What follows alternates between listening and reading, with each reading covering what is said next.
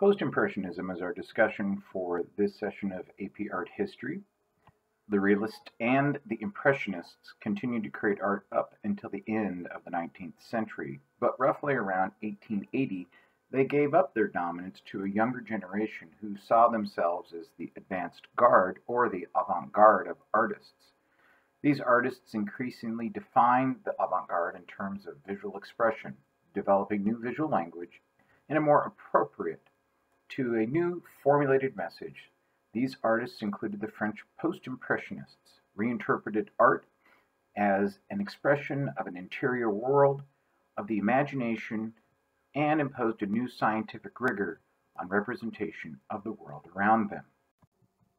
An English critic by the name of Roger Fry coined the term post-impressionism right around 1910 to describe a diverse group of painters whose work he had collected for an exhibition. He acknowledged that these artists did not share unified approach in art, but they all used things like Impressionism to be used as a springboard for developing their own styles. Now, one of the vocab words that you should go into your textbook and find is avant-garde. George Seurat, trained in the École des Beaux-Arts, sought to correct Impressionism which he found too intellectually shallow. He preferred the clarity of structure he saw in classical relief sculpture and seemingly systematic but actually quite emotive use of color suggested by optics and color theory. Seurat was particularly interested in the law of the simultaneous contrast of colors, formulated in 1820 by Michel Eugene Chevreul. Chevreul observed that adjacent objects not only cast reflections of their own color onto their neighbors, but also created the effect of their complementary color. When a blue object is set next to a yellow one, the eye will detect in the blue object a trace of purple, the complement of yellow, and in yellow objects a trace of orange, the complement of blue. Seurat's goal was to find ways to create such retinal vibration that enlivened the paint surface his paint style was distinctively short, multi-directional strokes of almost pure color in what came to be known as divisionism or pointillism. Make sure you understand that these are both the same, but you might encounter this on the AP exam. In theory, these juxtaposed small strokes of color would merge in the viewer's eye to produce the impression of other colors. This is a Sunday afternoon on the island of La Grande Jatte. Not my best French, but forgive me. It is a monumental painting, 6 feet 9 inches and half to 10 feet 1 and 1 quarter inches. Uh, exhibited at the 8th and final Impressionist exhibition in 1886. The theme is of weekend leisure and is pretty typical of Impressionists, but the rigorous technique and the stiff formality of the figures and the highly calculated geometry of the composition produce a kind of a solemn effect, uh, quite at odds with the casual naturalism that you would have seen in Impressionism.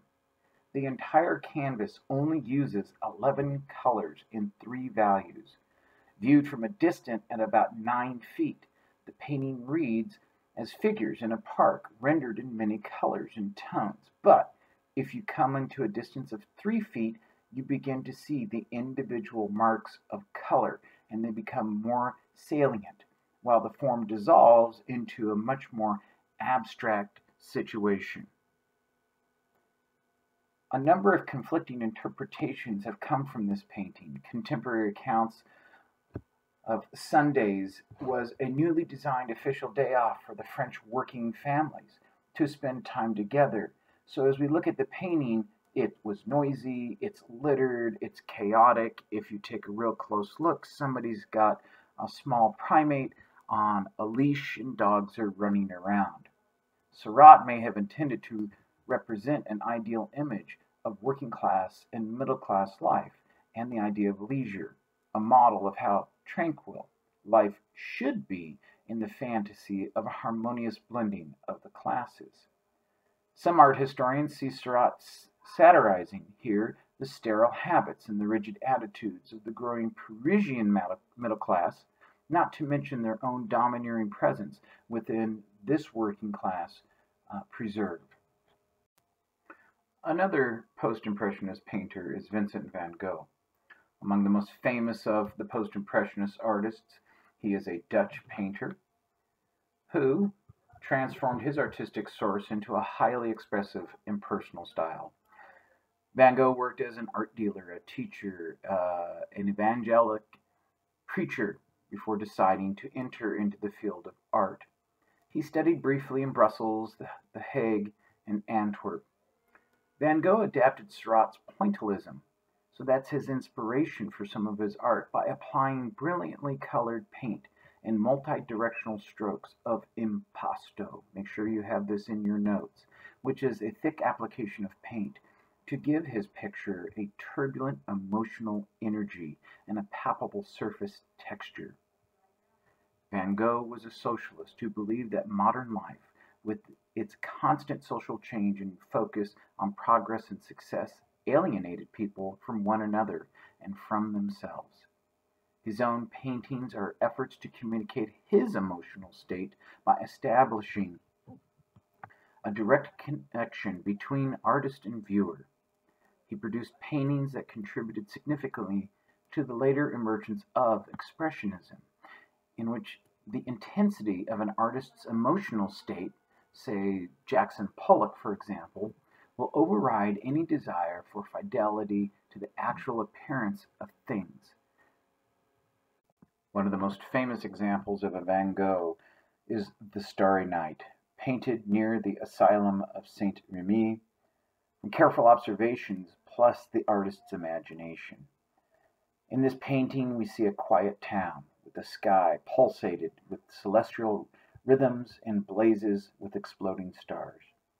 Contemplating life and death, in a letter, Van Gogh wrote, Just as we take the train to get to Tarascon or Rouen, we take death to reach a star. This idea is rendered visibly here by the cypress tree a traditional symbol of both death and eternal life. The brightest star in the sky is actually a planet, that's Venus, which is associated with love. It's possible that the picture's extraordinary energy also expresses Van Gogh's euphoric hope of gaining in death the love that he had that had eluded him in life. Van Gogh's brushwork is immediate, expressive, intense, clearly more a record of what he felt than what he really saw. During the last year and a half of his life, he experienced repeated psychological crises that would last for days and sometimes weeks. While they were raging, he wanted to hurt himself. He heard loud noises in his head, and he just simply could not paint. The composition of the painting is pretty straightforward. The night sky occupies approximately two-thirds of the picture, while the other third is dedicated to the landscape. In the foreground and the middle ground, the movement proceeds from left to right. The ground and sky are connected by a clump of cypress that rise from the bottom of the painting on the left-hand side. In the middle of the sky there is a large circular swirl of color. Because of it, its size and prominence, this vortex becomes the central feature of the composition. The landscape that lies beneath the vortex appears to be flattened. The pointed church steeple rises out of the group of buildings standing out against the hills and extending into the area of sky, like a second line connecting the human world with that above. The band of lines and the colors that make up the whirling vortex come from the extreme left of the picture and goes toward the right, guiding the viewer's eye into the same direction. The whole of the area of the sky has been obsessively filled with curved lines and color. Series of short, thick, successive strokes of color set the surface in motion. The darker lines are generally continuous their changing directions draw the eye into the swirls of dark and light, which create an aura of anxiety and compulsion. The poetic twinkling of the stars, defined by the lighter colors, develops into a frenzy, incessant throbbing. Our last and final artist for this discussion is Paul Cézanne. No other artist had a greater impact on the next generation of modern painters than this artist. Born into the family of a prosperous banker in, in Provence, uh, Cézanne studied first in his town and then moved to Paris, where he participated in the circle of realist artists around Manet. Uh, in the early 1870s, Cézanne's style changed because of the influences of Pissarro, and he began to adopt a bright palette, a broken brushwork, and began painting landscapes. A little bit like the Impressionists with whom he exhibited, Cézanne dedicated himself to the study of what he called the sensation of nature. He wasn't trying to capture the transitory effects of light or atmosphere. He created highly structured paintings through a methodical application of color that would merge drawing and modeling into a single process. Cézanne once said he wanted to make uh, something of impressionism, something solid and durable, like the art of the museums. This painting done by Paul Cézanne is Mont Sainte-Victoire. Uh, this is a set of mountains that are close to his home. Uh, he did hundreds of drawings of this mountain and about 30 oil paintings up to his death. We're presented with the mountains rising above the Arc Valley, dotted with buildings and trees, and crossed at the far right by a railroad viaduct. Framing the scene to the left is an evergreen tree which echoes the contours of the mountains. This creates visual harmony between the two principal elements of the composition. His handling of the paint is deliberate and controlled. His brushwork, which vary from short parallel hatchings to light lines to broad swaths of flat color, weave together the elements of the painting into a unified but flattened visual surface. The surface design vies with the pictorial effect of receding space, generating tension between the illusions of three dimensions within the picture and the physical reality of the two-dimensional surface.